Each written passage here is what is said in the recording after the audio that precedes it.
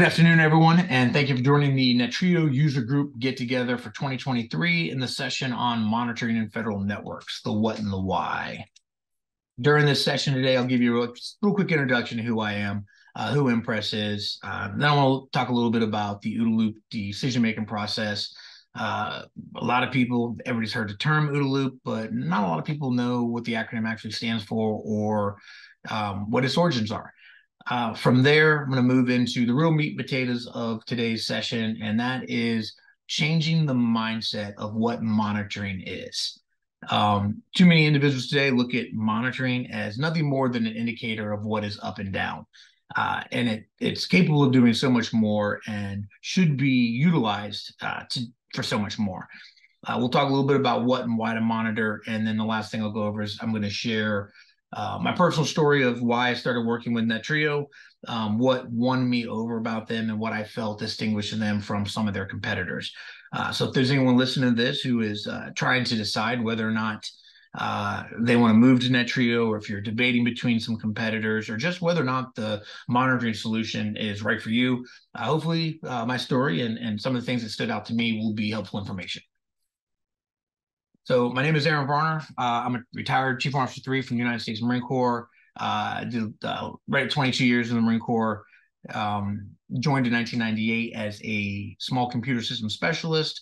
Uh, made it to Gunny, so I was an E7 uh, before I put in my warrant officer package and then retired as a Chief Warrant Officer Three. Did com my entire career. Uh, retired retired as a data systems engineering officer. the greatest gift the Marine Corps gave me uh, throughout my career was forcing me to be well rounded and get out of my comfort zone and learn things uh, that weren't necessarily uh, my job, but sometimes when you just when you're alone and unafraid, you got to learn it and, and, and move on. Uh, and that really gave me a well-rounded background, which I've been able to use in my current role uh, at IMPRES, as well as what I started out at IMPRES as a technical account executive. Uh, when I started out, I was supporting just the Marine Corps team, um, kind of a hybrid role, guy with sales responsibility as well as some engineering responsibility.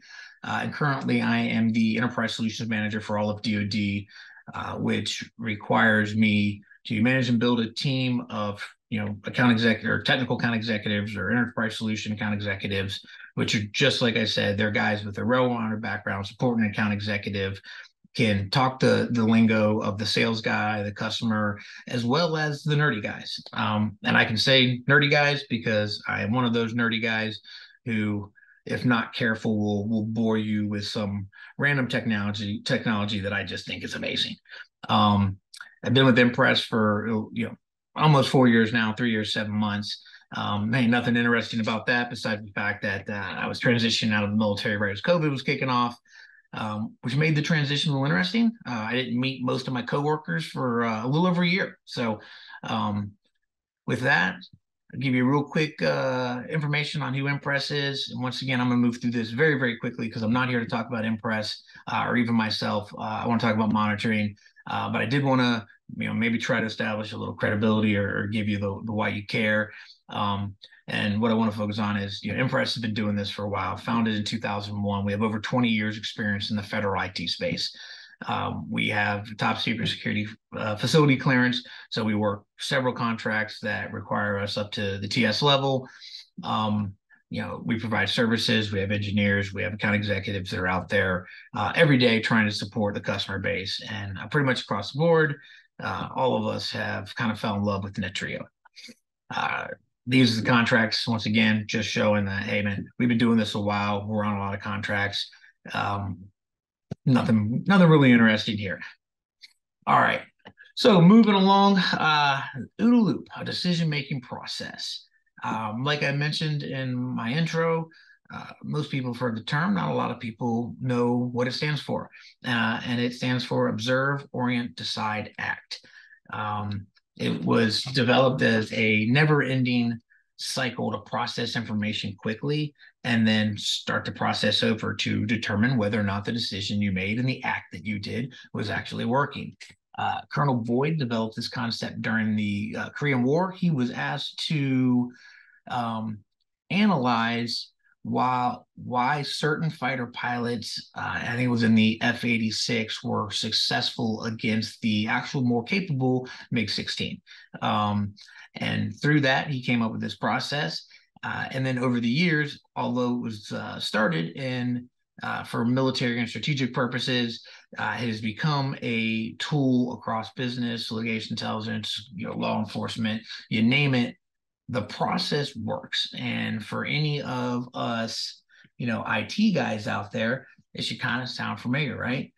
We observe, kind of orient with what a problem is, make a decision, and act upon it. Um, and now for my tie-in, if you're wondering, like, why are we talking about the OODA loop?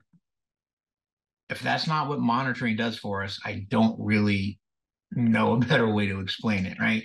not just observing what's up and down, but lots of analytics and information uh, that instead of having to go out and hunt for, we have a tool to collect and provide to us.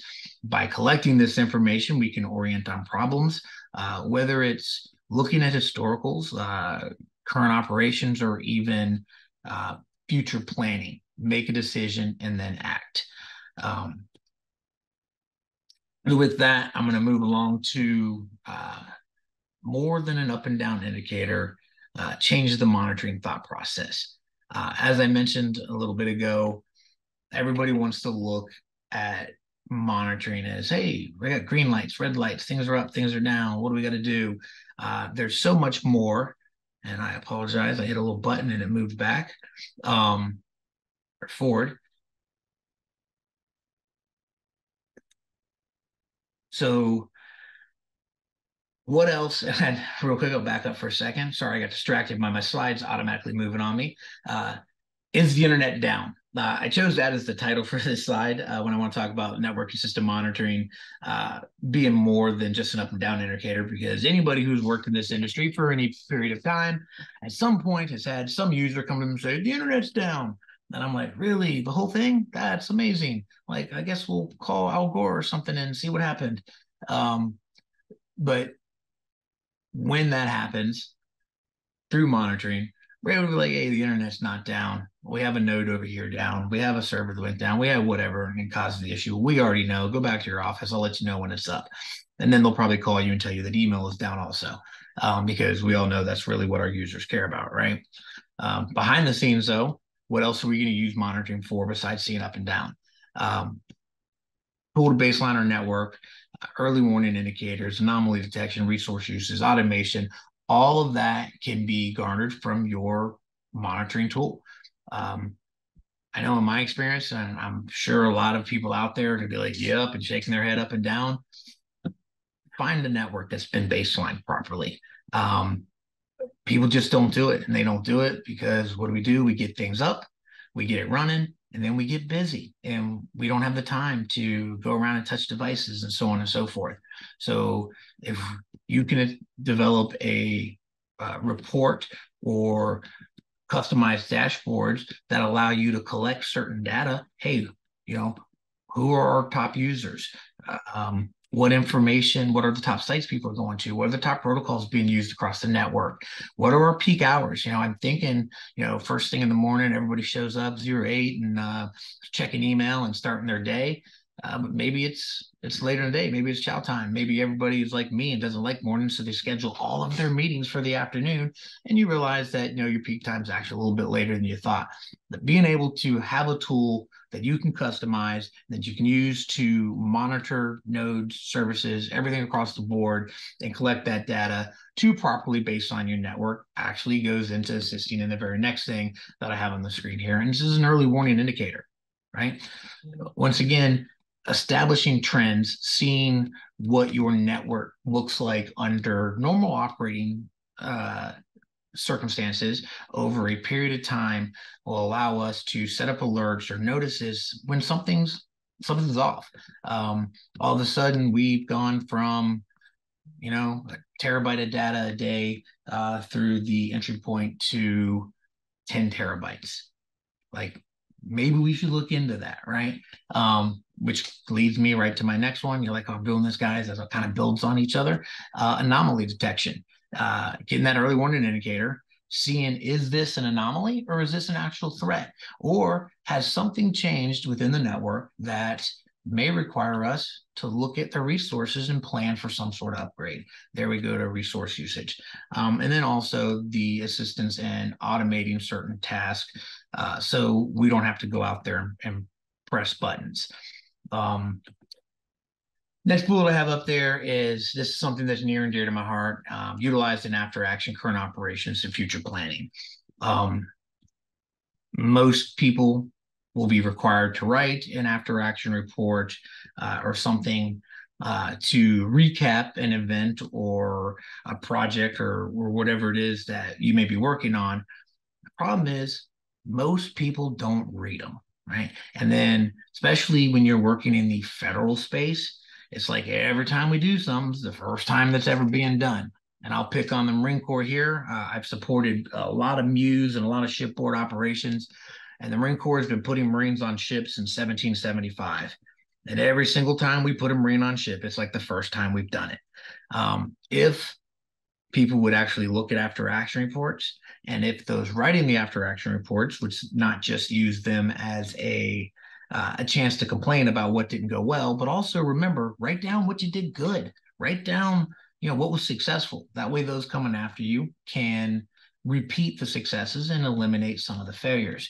And once again, being able to analyze your systems across the board, being able to collect data, historical data, save logs uh, in order to uh, successfully do a, you know, a, year in review or two years in review, six months in review of what you're seeing across the network, allowing you to actually move to current operations, future planning, and ensuring that your network is to support everything that you have coming down.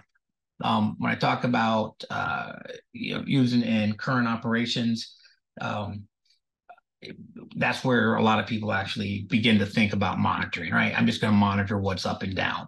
Um, but what about uh, you know uh, a high visibility event? What about um, uh, some sort of VIP event or a high operational time when you know we can't have a problem right now? My network has got to be running. My systems have got to be available. Uh, an outage will be a failure, right? Uh, during those operations, your monitoring tool being able to have the baseline that you did, uh, look for early warning indicators, all those things is is, is I want I don't want to say even more important, but extremely important because um, we don't want to fail. We want to keep everything up and running, so we should be monitoring at all times. Uh, and then, like I said, future planning. Uh, if you're able to look at the after actions, look at your baseline, and slowly analyze and see, you know what, we went from here to here on resource usage. We went from here to here and here to here and so on and so forth. Um, maybe I should begin to plan an upgrade. Maybe I should engage management. Uh, maybe I should write a report or a paper or anything to say, hey, this is what we need. And then there's nothing better than being able to go to our bosses with actual analytical data, right? A, um, a metric that says that supports our argument. Uh, I can go to my boss and say, "Hey, we need to upgrade all of our servers to the newest and latest, you know, VxRail or HPE or whatever it is." I have a lot more clout if I can take actual data and bring it, put it in front of it, and show why we need to do uh, what I'm suggesting. And again, your monitoring tool can make this so easy. And I've watched Netreo and some of their tools really make this easy and a lot of these things that we just don't do in the IT industry because we're too busy with what is right in front of us. Netreo has simplified. Uh, last thing I got on here is you know trend identification.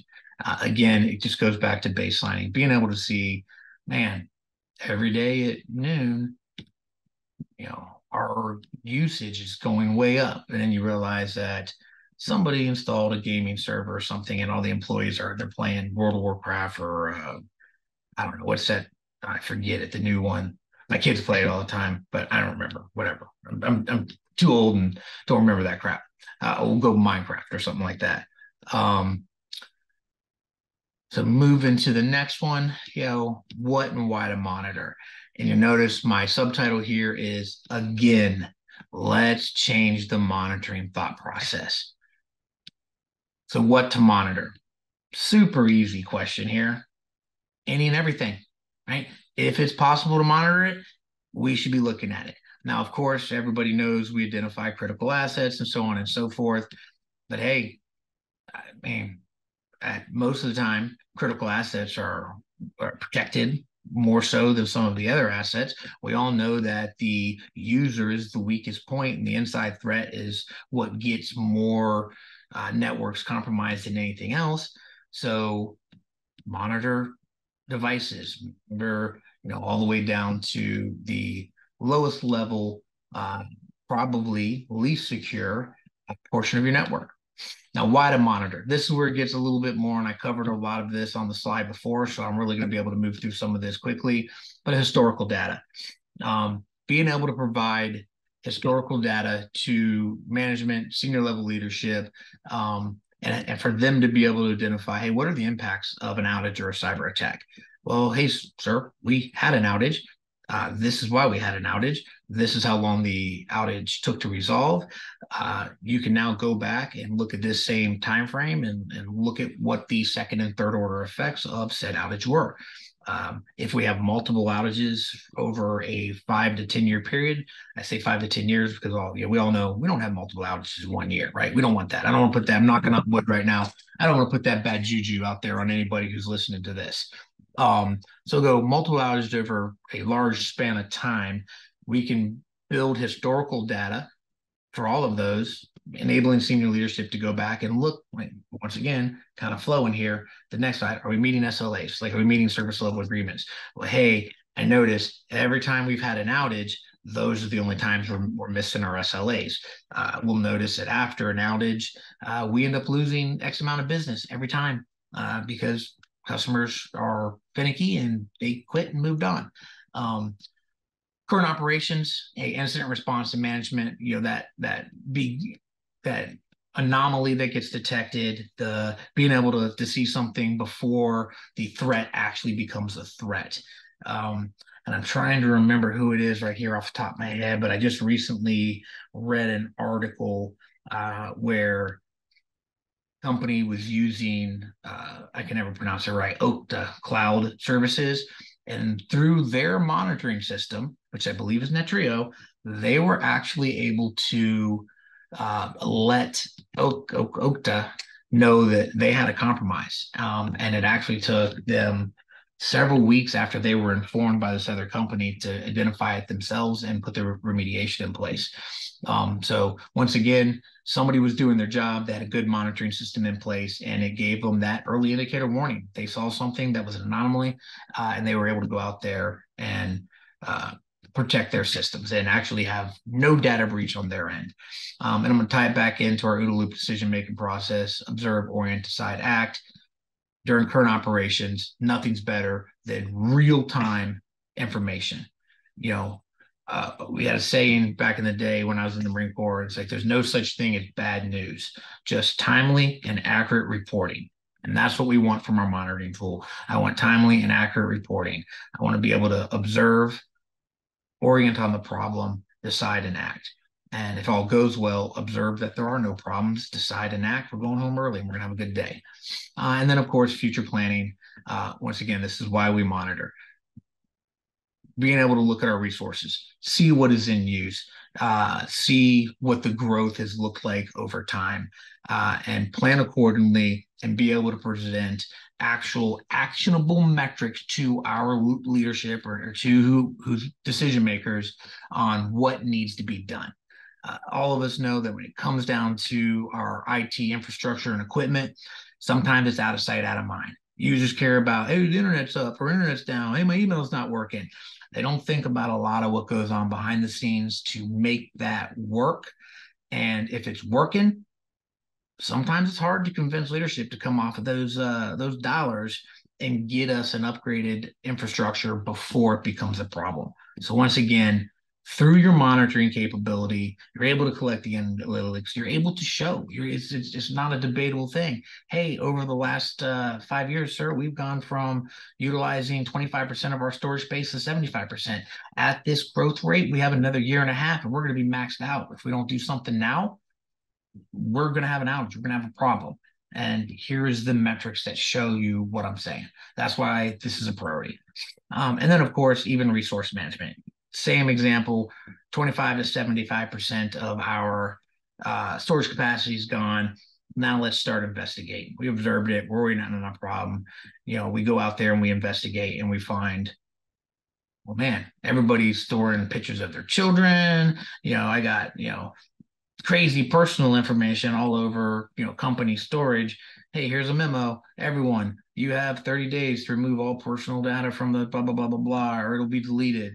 You know, once again, how else are you going to get that information through other than through monitoring of your systems? Uh, you can tell somebody, hey, once a month, go out and check what's on the storage. But that's a really, really tedious process that probably not going to follow. I go back to baseline and network. It's not done properly because it's not followed. It's too hard. If people got to hunt for things, they don't want to do it. It's just human nature. Through proper monitoring, it makes it easy. We can do it. All right. That's kind of like I feel like I was standing on a soapbox uh, preaching. So if I was, uh, I apologize. It, uh, it's just something that uh, I see a lot and I'm a little passionate about because of my experiences and the times that I've been bitten in the rear end uh, because of not proper proper monitoring, not planning properly uh, for how we are looking at our network. So now I'm going to move into um, a why Netreo. There are many options out there, and I'll tell you, I don't consider any of the options bad. Um, all really good tech. However, I do have some things about Netreo that I feel really stand out and set them apart for, uh, for me personally. Um, one of the first things is I really like the way they are set up to what they're set up to monitor and the options that they have for how uh, the tool can be installed and utilized. Um, especially in the federal government, there's a really bad habit of the government buying a solution, giving it to the end user and saying, hey, you know, here's your solution, make all of your requirements fit this solution. Uh, and that's not the way it works. Uh, every network's different. Uh, every operation is different. Uh, there are sections within a network that are different. And I believe Netreo is one of the most uh, modular, flexible uh, monitoring systems for you to design your installer or, or, monitoring architecture to what meets your requirements. Uh, whether you need you know network devices, systems, application, end user devices, or um, or, or cloud uh, resources, they have the ability to do it. Uh, they got the software as a service uh, version where it's not on prem. You got on prem. Um, we know that often in the federal infrastructure, um, there will be air gapped uh, networks that are uh, of a higher classification.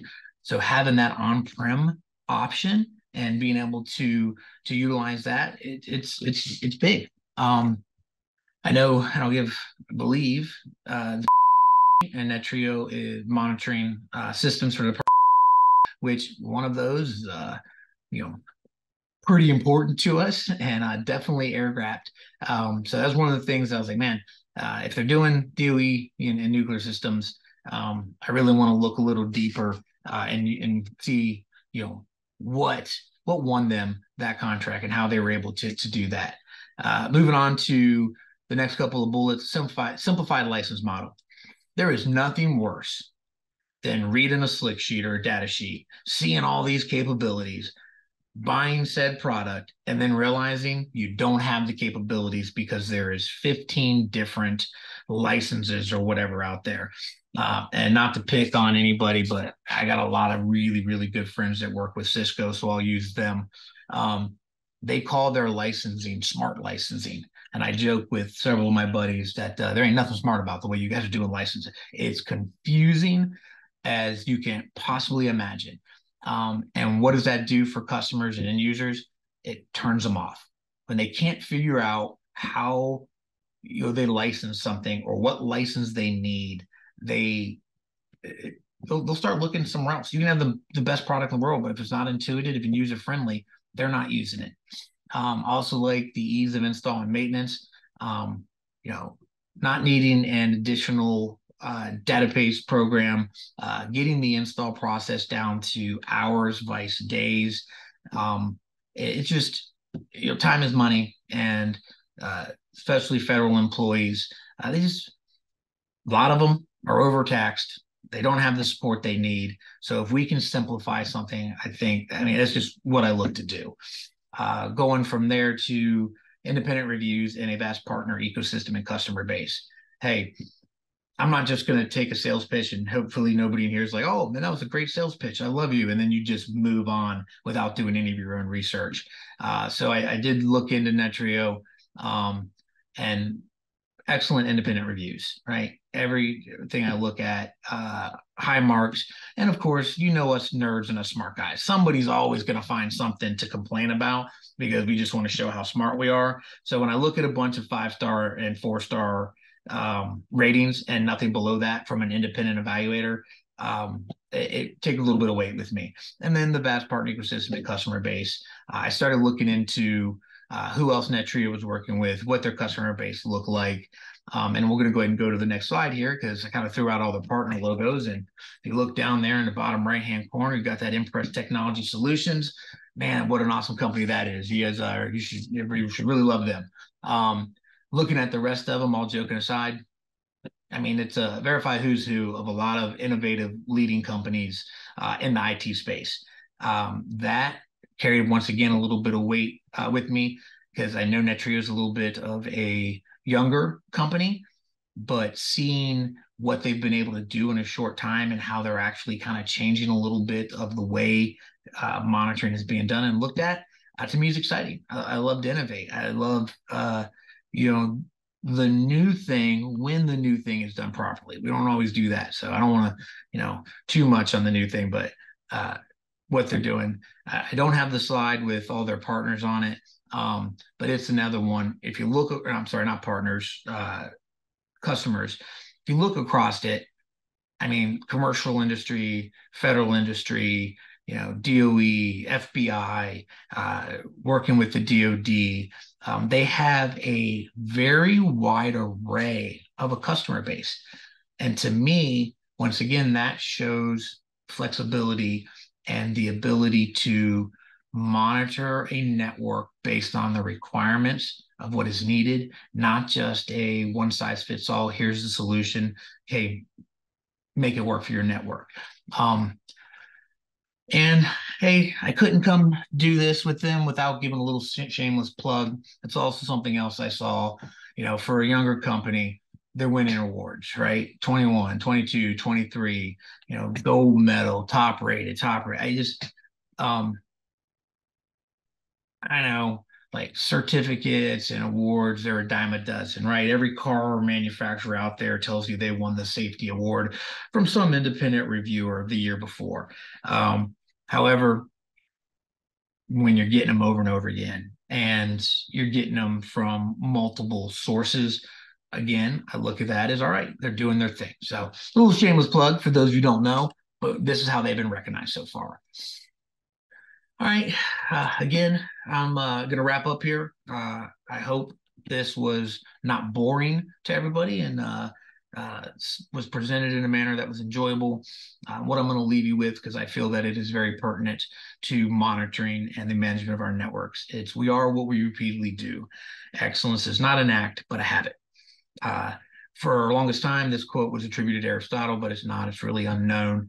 Um, but we are what we repeatedly do, and we want to manage our our networks in an excellent manner. So, utilizing a monitoring tool to develop processes to help us automate, to get those early warning indicators, to baseline our network. That's just practicing excellence and turning it into a habit. So thank you very much, everybody. I really appreciate uh, you listening. And thank you to Netreo for giving me the opportunity to talk. Have a good day.